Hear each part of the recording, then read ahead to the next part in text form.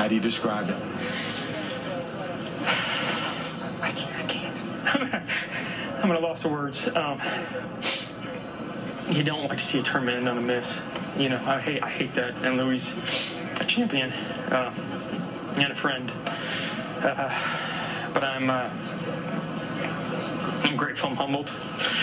Um, I'm thankful. Uh, I'm honored. I mean, this is this is the birthplace of the game, and uh, that jug means so much in sports, specifically this tournament and, and golf. So. Um, it hasn't set in yet, Tom. I got to be honest, but uh, I felt great. I mean, I, I, felt great. I was patient. I had some scripture going in my head, and I, I thank the Lord. Um, I thank my friends. I thank my family. I'm just in awe right now. Let me take you back to the putt.